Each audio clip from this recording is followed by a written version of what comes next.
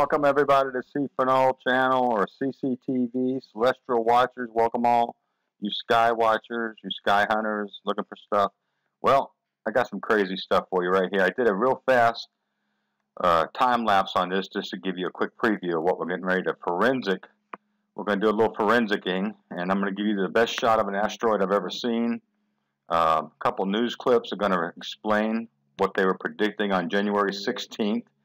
Um, I tried to upload this thing three times right after I came back from my three weeks off, and uh, they would not have it. So I waited one month, and I constructed this new video of it. That's actually better.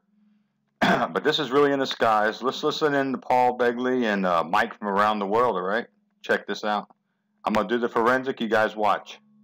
Welcome all you new people. If you haven't seen me do a forensic show, you've seen my filters. Now, forensic – um, I've already mag magnified this up to a thousand times, maximize it, not zoom, maximize it. I do the dehazing on it, and it's a very clear picture, no fog, no chemtrails. I can remove a lot of that. And so on this forensic tool I have, you could do this sweep, they call it, and I could bring the light way down, and they have it illuminate, uh, pixel, uh, pixelating type thing where you can see the surface of something. Um, and so I'm going to zoom in here and you're going to see the surface of what looks like a mountain in the sky. One side looks like an alien ship, which we've seen the metal reflective planet around the sun, and the other side, when it flips, you'll see it looks like this, like a mountain ridge. So listen in on Paul and uh, Mike from around the world, all right? Good, good, and good, good, good. stay for the whole show. It's going to get better. Got a great crowd of folks here listening. And Mike, I don't know if you heard, I read part of this article from Forbes magazine talking about this. They even quote your exact date. August 17, 2017, the arrival of this first wave of energy. They're saying it came from a collision of two neutron stars that created what they call a kilotron. Um, that's fine. You know, they're admitting that something happened that caused these two to spin very quickly and crash into each other, relating, releasing a tremendous amount of energy that's affecting the Earth's magnetic field, and that more waves are coming. So this kind of i mean what's amazing about this mike is this this this article was released by Forbes magazine four hours before our show tonight I, I have no doubt in my mind that they are listening to these programs and they know that what we're talking about is at a high level of interest for the general public. What is your? Have you had a chance to see this, and what's your take on this? Well, no, I haven't seen it, um, but interesting, isn't it? Interesting. Very interesting. They, um, as time continues to go go forward, I did hear, however, the last article you read about the, uh, the UK, but concerning Forbes. Um, interesting they will put that on Forbes, number one. That's not really where you would get your scientific information from. Right. Would reach uh, influential individuals, right? Or right. who certainly have a potential to be that. But, uh, you know, it's just simply put that uh, more and more things are becoming very difficult to hide. And, and, and believe me, it's a, it's a, um, if they can come up with some sort of excuse to calm the masses, because the, when the data, the data is coming back and it's becoming, um, you know, irrefutable that something out there is happening, something is taking effect. Um, but as the days go forward, you're looking at a, a physical condition of people changing, and, and people are going to want to, they're, they're going to want answers to what's taking place. This stuff, these things that are happening on the face of the earth, they won't subside. They're going to continue uh, to increase in intensity they're going to continue to, uh, the scope of them will increase also, and they're going to be hard pressed to come up with an explanation. And again, as I said before, not to lose, they don't want to lose face with the public.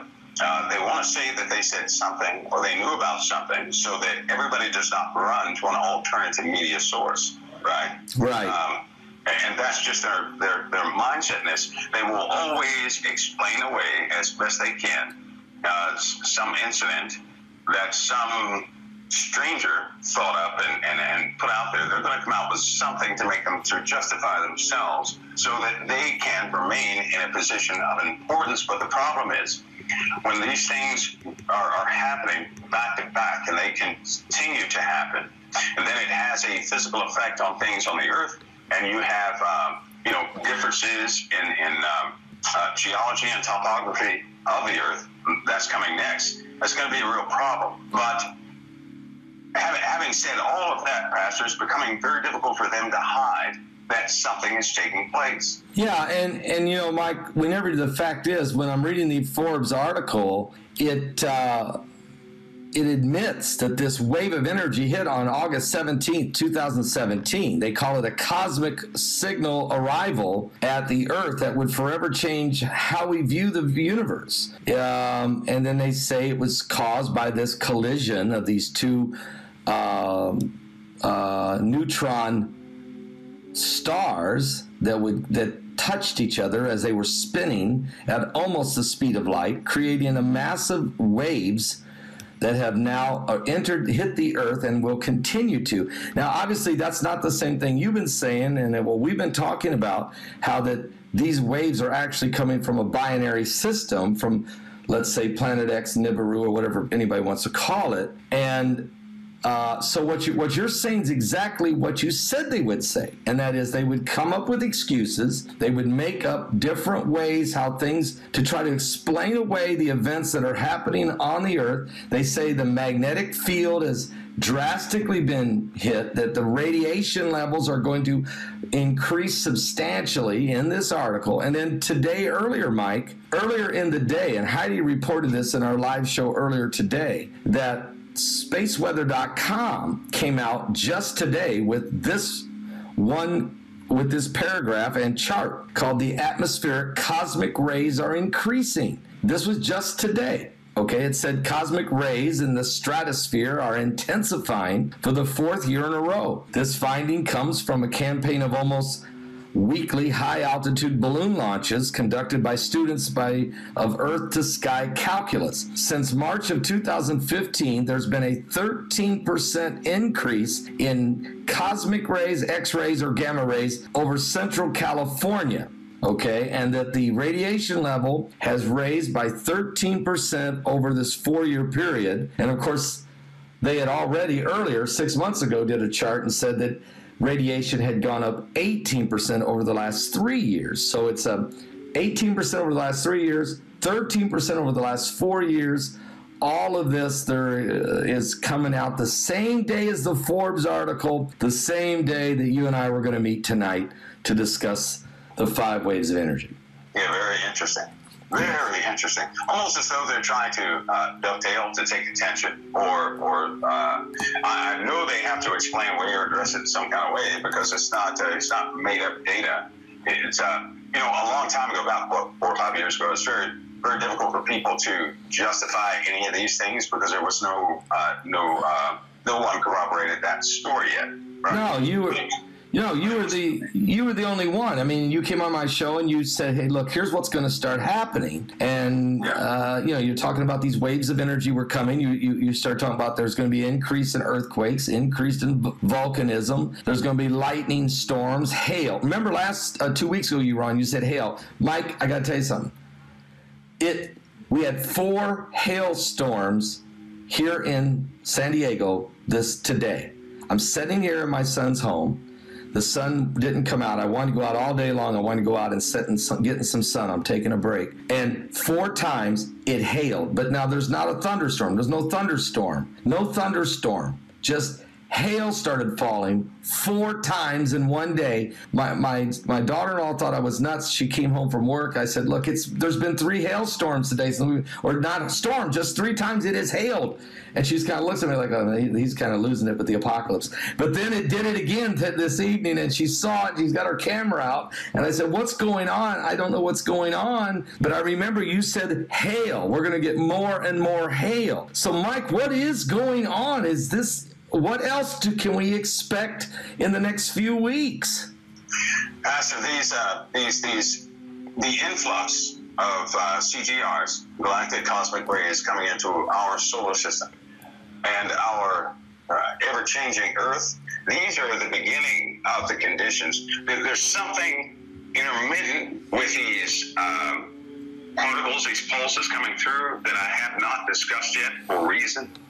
Um, that that's going to be a major concern. That the, this increase in radiation is going to be within itself a big problem. But I want to address something though. Um, we have discussed all this stuff coming in. These other folks are now jumping on board, trying to because they're trying to position themselves to be the experts in what they know, without a doubt, is about to take place. They're, they're positioning themselves, which will eventually go into the mainstream media. Uh, when you hear of CGRs in the mainstream media, and, and they actually cover this because they're told to, well, they have something to worry about. Because all this stuff that's coming is going to have an effect on all biological life on this planet, right? Now, there's going to be continental changes, yes, and other changes, but biological life is going to begin to suffer greatly. You're talking about radi- radiation uh, plagues, radiation-driven plagues. You're speaking about, uh, um, we're, we're, talking about um, particles that come in with these, uh, with this dust and everything else coming into the solar system. You're looking at arsenic symptoms all around the world, a weakness of mankind. In other words, these these the conflagration of these things, this this uh, combination of these things, is really going to cause a physical weakness, both mentally and physically, in many. Radiation and magnetism will change the way we think, but fatigue is about to be a big problem, and people are going to be uh, they're just not going to be happy uh, with these things. With the onset of these things, however, there there's some other bigger things to come, which without uh, an explanation of these uh, galactic cosmic rays coming in, these pulses coming in, it would be hard for people to understand why in the world or what are they actually seeing? Because we have entered the times when people are going to see things, right? We're, we're, and everybody's going to try to explain them. What I have, um, what I have done was set uh, just a, a small basis of a truth because I'm telling you, they're going to mislead many. They're going to deny to the very end, even when people see a golden sky all the time, they're going to say it's something else, which is uh, people are going to be kept ignorant until the very last second. Hey, Mike. They're already. They're already. I mean, I had a phone call from one of the, one of our uh, Paul Begley School of Prophecy school students who lives in Tasmania uh, and uh, down there just south of Australia, and she said that the sky is golden now every day. That literally the sunrises and the sunsets are totally different than they've ever been. Uh, and they're seeing that down there. Now, I don't know if we're seeing that maybe the, uh, you know, everywhere else on the globe. Tasmania is way down there. I mean, after Tasmania, it's, it's uh, you know, it's Antarctica. But they're seeing a golden sky every sun, every sunrise and every sunset in Tasmania. Yeah, that's a that's a reflection of the atmosphere. of Certain light particles, photon particles that are coming in, changing or altering the way the sky looks. The, the problem is that the the uh, the static and plasma is the next step, which will reach the surface of the planet.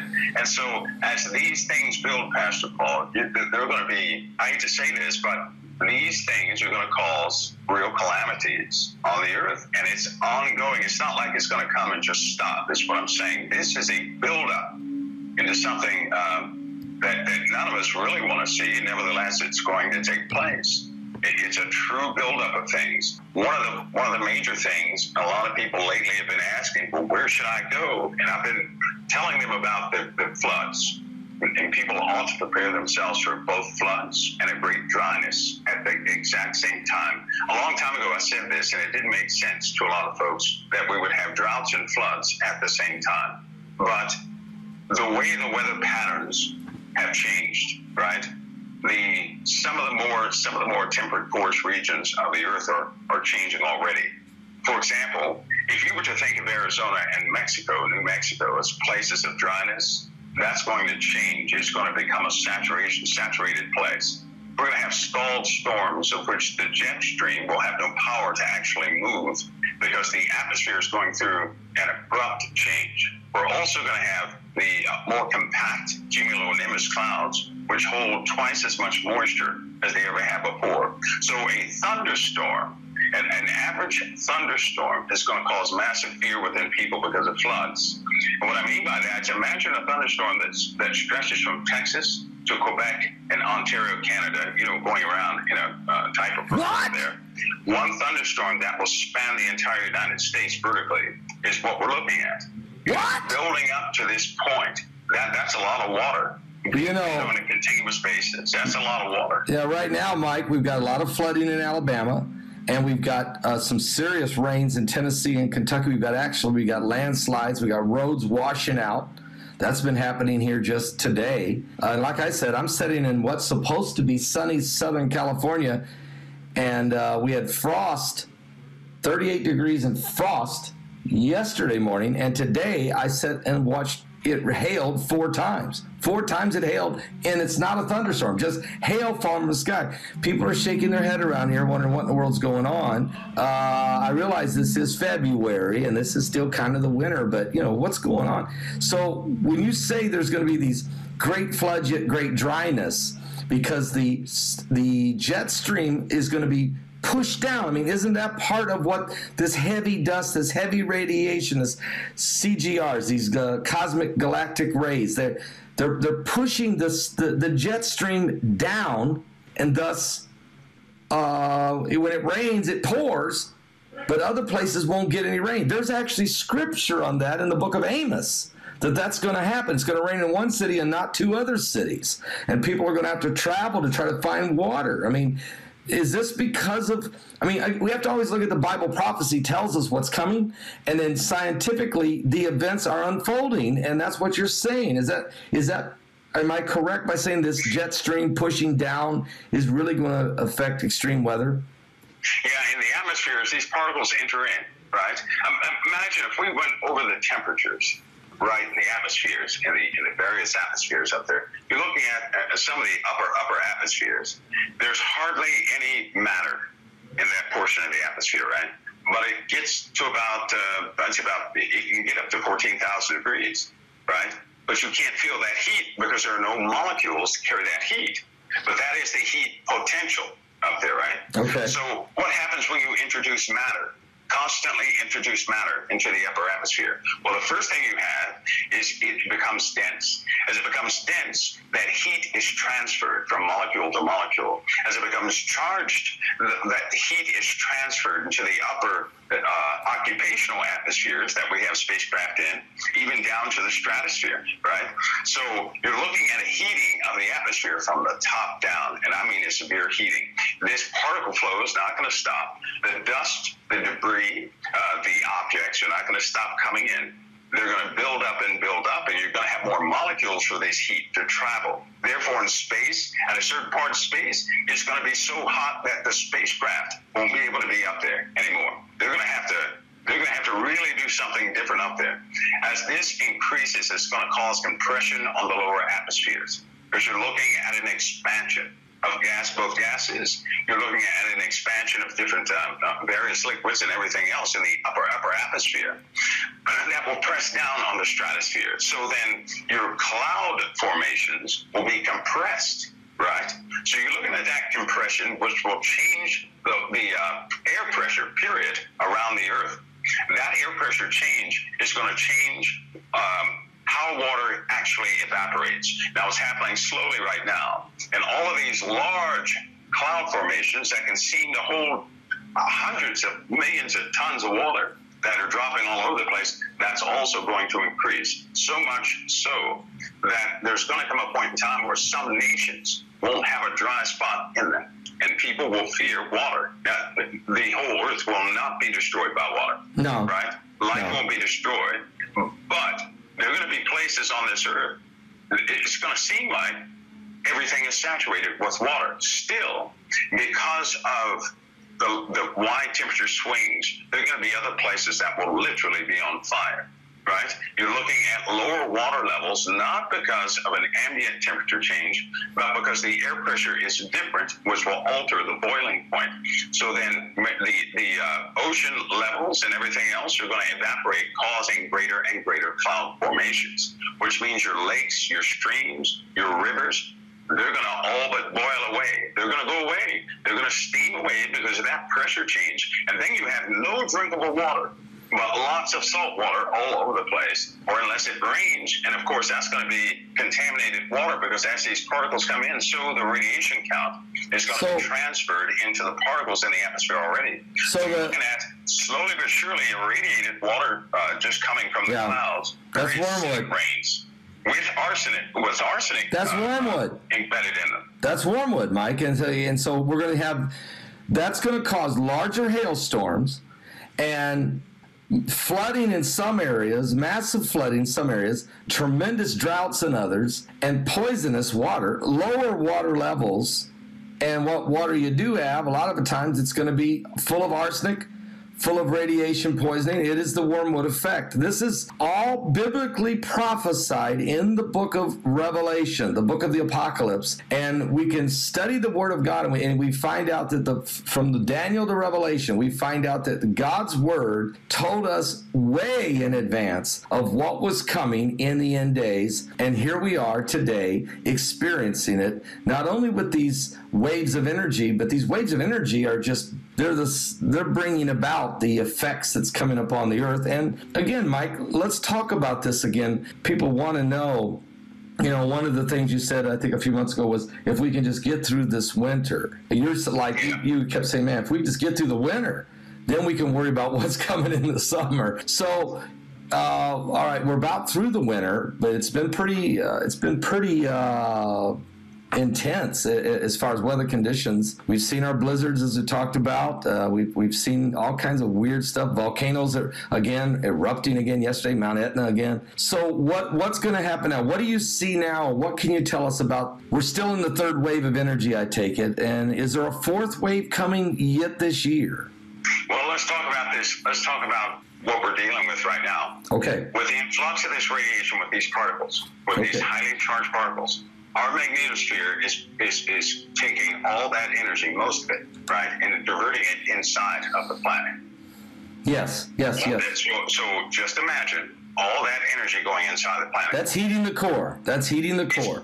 It's, it's continually doing this. It hasn't stopped. It's, it's continually doing this. So, and the sun also, likewise, is also taking in a lot of that energy right? Because it's already penetrated the heliosphere, so it's in the solar system. And all the planets are starting to take this in. So what's it doing? It's heating up the planet from the inside out. Mm. Well, as this continues to happen, it's like a pressure cooker.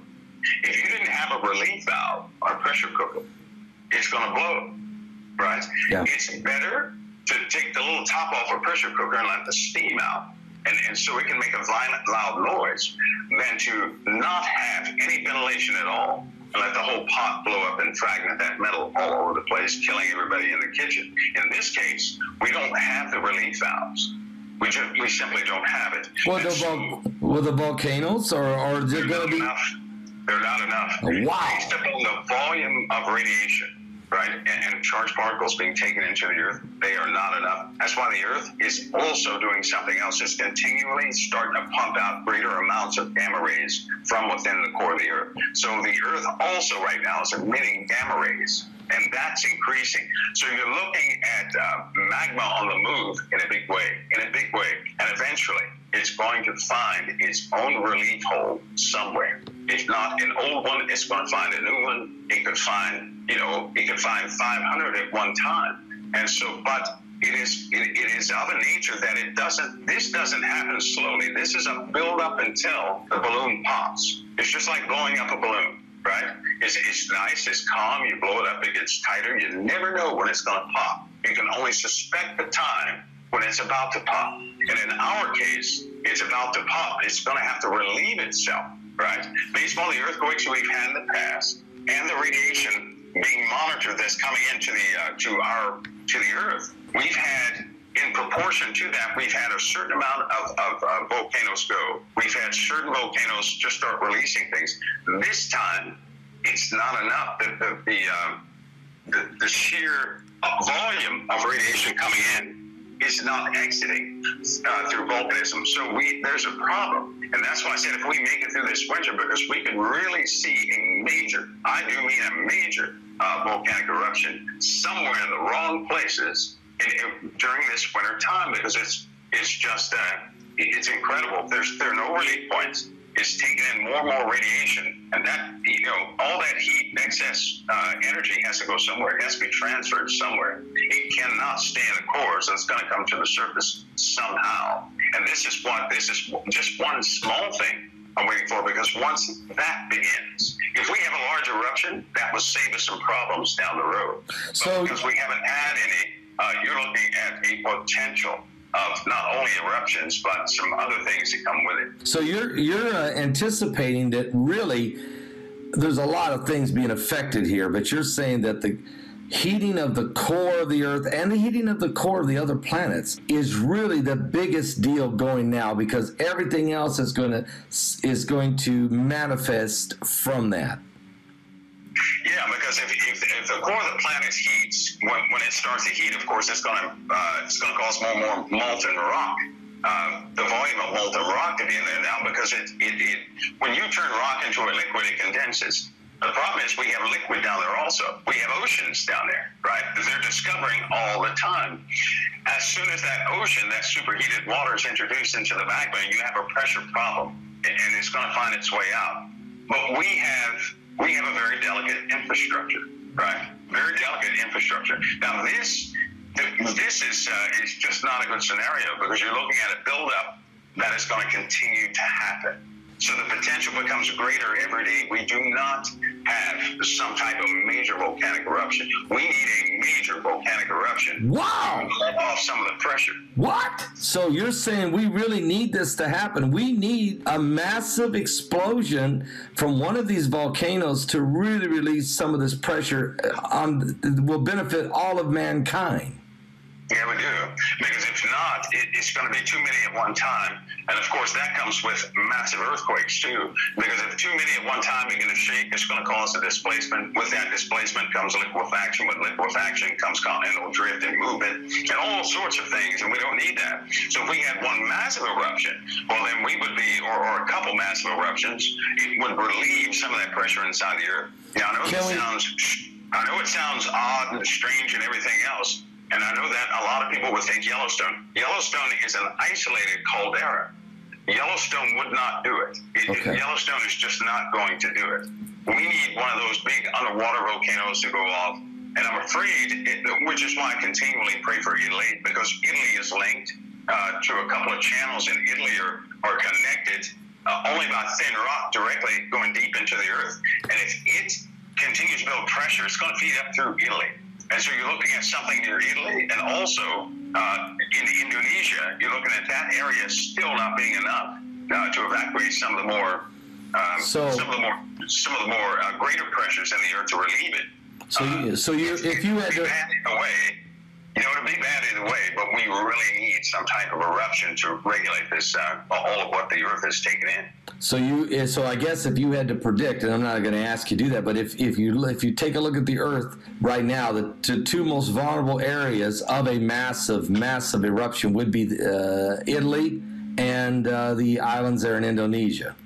Yeah, and one more spot, one more spot. And I know it sounds strange, but I had mentioned this a long time ago and it's New York City. What? Um, wait a minute. I mean, are, are, we talking off the coast of New York, there in the Atlantic? No, no, no. Underneath, right underneath. Underneath New York, down City. Below, down below New York. See, we have fault lines that form uh, on a monthly basis, right?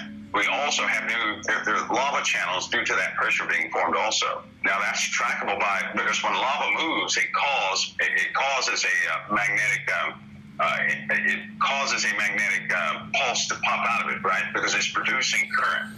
As it moves, it's so hot, it produces current. You can track that current. You can see that current.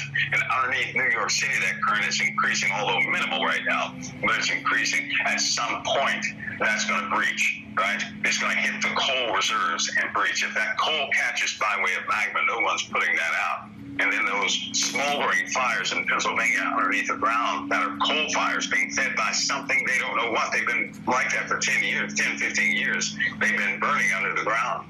They've been sucking houses down into them, and they won't, you know, they really don't put that on the news. But um, people right now are having to move out of neighborhoods all across the U.S. because of things burning underneath the ground. But New York is one of those places which one day, a long time ago, I talked about the infrastructure of New York and the gas lines and everything else. And I said, if magma were to ever breach uh, or get into that area where the gas lines are, they're so fragile right now, New York is in trouble. So you, you have these problems. Um, they, they, they just simply can't, those problems can't be solved. You know, it's Mike. It's a matter of time. Mike, I, I guess I have to read a couple verses here. Revelation 18 says, And after these things I saw another angel come down from heaven, having great power, and the earth was lightened with his glory. And he cried mightily with a v- strong voice, saying, Babylon, the great is fallen, is fallen, and is become the habitation of devils, and the hold of every foul spirit, and a cage of every unclean and hateful bird. For all nations have drunk of the wine of the wrath of her fornication. The kings of the earth have committed fornication with her, and the merchants of the earth are waxed rich through the abundance of her delicacies. And I heard another voice from heaven saying, Come out of her, my people, that you may not be partakers of her sins, and that you receive not her plagues. Now, I won't read the whole chapter, but if you go on down, it tells you that there was a great event. Here's what it says happens in verse 15 The merchants of things which are made rich by her shall stand afar off for fear of her torment, weeping and wailing, and saying, Alas, alas, that great city that was clothed in fine linen and in purple and scarlet and decked with gold and precious stones and pearls. For in one hour so great riches is come to naught, and every shipmaster and all the company and ships and sailors, and as many as trade by sea, stood afar off and cried when they saw the smoke of her burning, saying, What city is like unto this great city? Um, I'm not saying, again, it doesn't tell you specifically in the Bible what that city is, but certainly, I guess, if the event you say could happen in New York City was to happen, it would actually create this very scenario we're reading in Revelation 18. Not saying it is, but something's but, but something's going to happen somewhere. Isn't that right, Mike? Yeah, it's brewing. It's, it's most definitely brewing. And you know what? That that's an interesting scripture too, because um, that woman that sits atop the beast, the beast hates that woman. I'm Yeah. just pointing that out. The beast hates her, right? Hates her to pieces. Hates. So a lot, of, anyway, a lot of people a lot of people i mean i've studied this many many times and there's a lot of different potentials i mean rome has always been considered that city as well as a lot a lot of folks think it's new york but i, I certainly think i would lean toward rome uh, maybe because of just the Roman Empire and, and, and all the things that we've seen come out of Rome over the historically, if we take a look at the. But you know, again, that's up to God what God's going to do. One thing's for sure what you've done is you've identified that Italy, that uh, I, Indonesia, and that even under New York City is the potential for an explosion, an eruption of a magnitude on a biblical scale that could that actually could create this very event. yeah, and it's uh, you know what too. But speaking of Italy too, um, they recently had issues with in Italy of um, some of their roads were actually melting. Uh, What? They also had they also had small small venting, small uh, steam vents coming up from places where it shouldn't come up from, and, and again melting asphalt. So something is alive in Italy underneath the earth, and that's a very um, it's just a very unstable thing there. They, they also had a set of earthquakes that were just, I mean, they were just linked to uh, a very large potential volcano there. It's a very, it's a monster in Italy that has long been forgotten about, but through satellites, once you begin to watch the uh, formations and everything else, and they actually did have people go down there and investigate. They, they were looking into it, but it's something they're not really going to publicize. Um, No. not yet, anyway. But but they're going to have no choice. The, the the deal is these things my outlook is that that is absolutely going to happen with Italy. Italy is going to have a problem. That's just my viewpoint. New York is also going to have a problem. That's my viewpoint.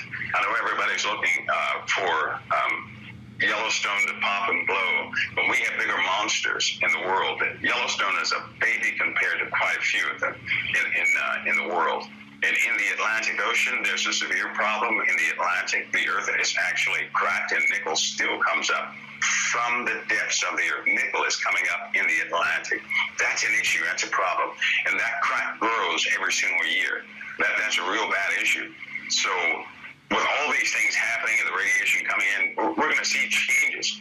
You know, one of the issues is going to, one of the problems is going to be, Pascal, while everybody's fixated on these dangers, they're, haven't really mentally put themselves inside of a world where these things have happened. No. And so, the one caution I would give everybody ever talking about these things is try not to let those outside of, of the church allow the argument to be on when these things are going to happen. We know these things are going to happen. And they're, they're trying to make an argument as to the technical aspects of them. But the Lord's people need to put themselves in a middle mindset saying, okay, Lord, your word is true. These things are going to happen. Yep. Where am I now? You know, what am I missing now? I need to be able to stand in all of these uh, types of environments. And it takes a real trust of Christ to do this. For, for example, the arsenic that will be tracked coming into in the air and everywhere else. The right? water, in the water. The symptoms from arsenic are a metallic tasting around, excessive saliva, issues swallowing, hair loss, con- uh, some convulsions, skin changes, new spots on your skin, abdominal pain from time to time, becoming hot all of a sudden, and then followed by being cold all of a sudden. That's in men. Uh, you're going to uh, muscle cramps, chest pains where nothing is wrong. Your fingers start going numb, right? You're going to have uh, people are going to have bad bone problems more than from usual. couldn't have said it better constant myself. sore throats among children Anyways, is also uh, found in the presence of arsenic. uh, and there are mental in the symptoms. beginning there, there was a lot of, uh, symptoms, and there are stuff coming up. You might wanna watch it second time. also, Turn the sound down, put your music on, and put it on slow motion or medium these all at speed. one time, you're Not miss a thing. But that planet's real. Things are being affected. Got Jesus, because he's on his way. We're preparing. Repent, for the kingdom of God is at hand. Come on, people. want to meet a bunch of you up the supper table. The marriage lamb supper. Coming in a neighborhood near you to pick you up. Yep, rapture's coming, believe it or not. So, love you guys. Hope that wasn't too much for the eyeballs. But, uh, you know, gotta have truth. And there's got to be truth. That's a lot of truth for one day. Talk to you later. God bless.